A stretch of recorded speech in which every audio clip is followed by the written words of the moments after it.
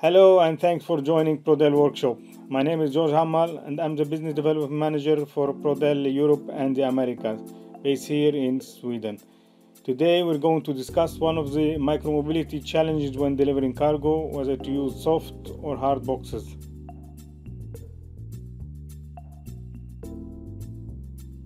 So let's start this interesting workshop.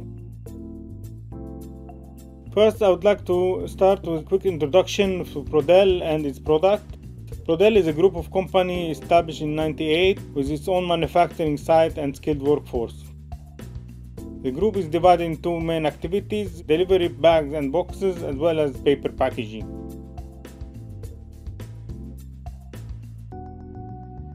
Prodel is an international organization with office, warehouses, and factories in Lebanon, also office, warehouses, and factory in Dubai, UAE, offices and warehouses in Sweden, and office and uh, warehouses in Chicago, USA.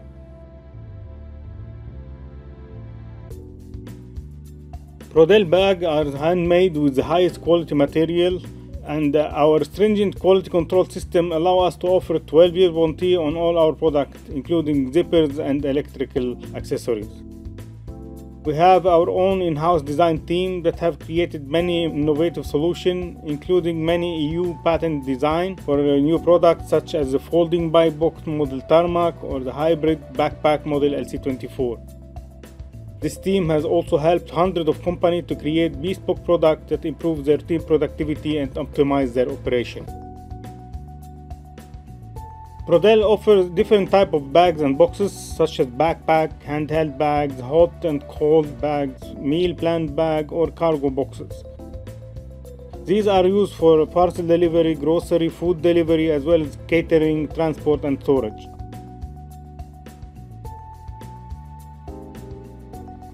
Our customers are international restaurant chains such as McDonald's, Burger King, as well as food delivery operators such as Uber Eats and Deliveroo, and grocery delivery companies such as Flink and Gorilla.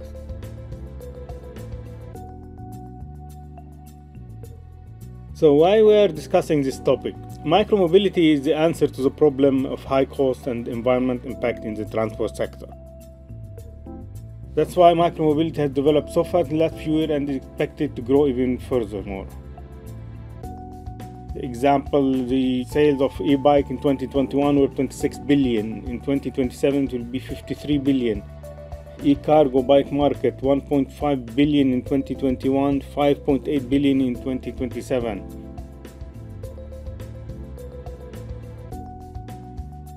Similar to any new trend or industry, there are challenges to overcome.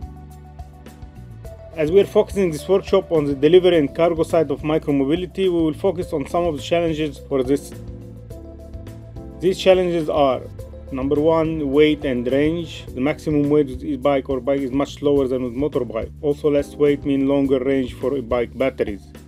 The size, the bikes are smaller and limit the size of the cargo. Where you can put the cargo, some bike have a front and back rack while others have one or none of them security and safety and the last one not important challenge is cost which is one of the main reasons for the switch to micromobility. As all the costs of bike and accessory and cargo need to be kept at the minimum level. For cargo bike prodel offers two options. Soft box is with external fabric. They can be reinforced and strengthened with cardboard plastic sides or with fiber rod the other option is a hard box made from FRP fiberglass reinforced plastic. Now we're gonna do a comparison between two boxes using different criteria. Both of these boxes are made by Prodel. The first criteria is the price of the box without any extra option. For the soft box the price is Euro 75 while the price of the hard box is Euro 200. Another criteria is the weight. It is 3.5 kilo for the soft box, uh, 12 kilos for the hard box. Third criteria is the packing volume. As you can see, uh, the hard box will pack uh, volume will be 0.125 cubic meter. The soft box will be 0.045 cubic meter. This packing volume will affect not just the cost of shipping and delivery, but also the cost of storage and also distribution to different locations. The fourth criteria we're talking about the customization. Now, the soft box can be customized in size, in material, for example, material tarpaulin or polyester. Also, it can be customized uh, which opening, for example, to be open at the top or the front or both. For all these customization, the minimum order quantity start from 100 units. For the hard box, you can also customize the size as well as where it's open from, but the minimum order quantity is 1000 units. Another criteria is the mobility, mean you can remove the box and you move it around. Soft box is very easily removed because it's attached with belt and flap, while the hard box is attached with screws, so it's more difficult to move around. For the branding, the softbox can be branded with three different options. You can have panel attached to the box with the velcro and then print on the panel. That's the easiest option, doesn't require any minimum order quantity. The other option can be printing the logo on the box or printing the whole box to use sublimation printing. The whole box can be printed according to the customer design. These will require minimum order quantity of again 100 units. For the hard box, it can be also customization with the color and with the panel. Panel can be removable and change different panel if logo change or different customer. For all this customization, the lead time is like four six weeks for the soft, but for the hard boxes, the lead time is 10 to 12 weeks. This criteria is based on feedback and comment from real user of the boxes. The soft box does not get easily damaged to the flexibility of the material that falls under contact with another body. For the same reason, the soft box is less likely to cause harm to the rider or pedestrian in case of accident. For the hard box, uh, the nature of the hard material means that it does not fold under impact, so it's more likely to get damaged. It also can cause harm to rider or pedestrian in case of accident. For the content protection, the soft box offer good protection, but the hard box offer excellent protection. Both boxes can be equipped with the locks. The lock on the soft box is attached to the zipper, while the lock on the hard box is attached to the box itself, which makes them harder to break or open. For the visibility, the softbox offer moderate visibility through the uh, reflective stripe. Hardbox can add to it uh, lights and brake lights, so it will offer excellent visibility, especially during hard weather.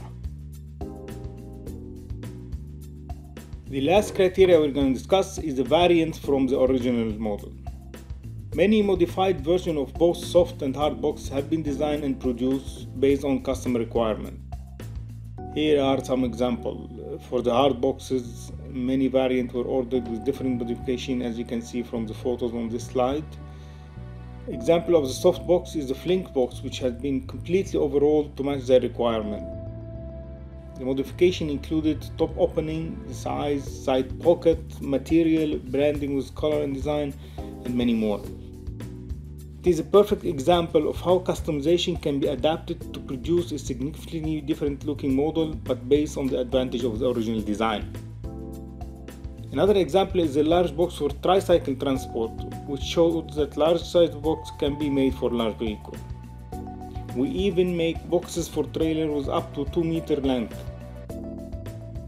Based on the softbox, we also designed a complete system called TAMS that will be officially introduced shortly. More details about the system will be revealed at the end of this presentation. Now it is time for the conclusion of our presentation. After comparing all 11 criteria, can we determine which version is the best? Actually, there is no clear winner as each type has its own advantages and disadvantages. When it comes to cost, weight, and customization, the softbox has the advantage. However, the hard box is better to protect the content, offer better visibility, and looks more well done. To choose which type is better for their operation, the customer has to determine which criteria are more important to their business. Based on that, they can decide which box to use. For example, if the operation consists mainly of delivering grocery products that cannot be damaged easily, while at the same time the budget needs to be kept to a minimum, then the soft box is the best choice. On the other hand, if the operation concerns fragile items or items that need to be kept at certain temperature, then the hard box is a better alternative. The best way to choose the right solution is to test both options and then determine which one is the best and most suitable.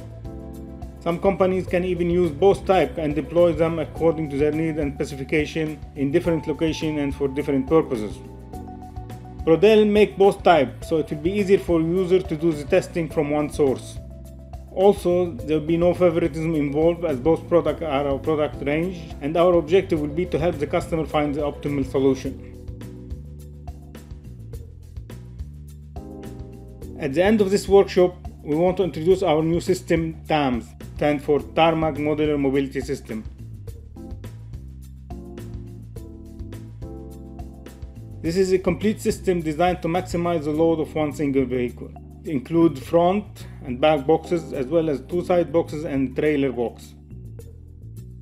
TAMS can be used as a whole or in part. The operator decides what part to use depending on the volume, size of delivery at a given time. Each component can also be customized as per the user specific requirement, example the size, the material, the color, how the box open, how they close, for example with a zipper, with a buckle, with velcro. The advantage of this system is that it allows delivery company to optimize their operation without being forced to buy or lease extra vehicle. They can also start with one component and end on more later as needed. So TAMS is a three-way saving system. It can save money by allowing company to use the same vehicle. It can save time and personnel by allowing more cargo per trip. It can save pollution by allowing fewer trips. This system is an excellent tool for delivery and cargo company as it grows at the same pace as the business. We are going to show TAMS at many upcoming exhibitions that we will be participating in such as Internorga in Hamburg from 10 to 14 March, Micromobility Europe in Amsterdam from 8 to 9 June, and Micromobility America in San Francisco in September. We hope to see you at any of these events and get the chance to test. Thank you again for joining us and hope you enjoy this presentation. If you have any question, please ask them and we'll be happy to answer.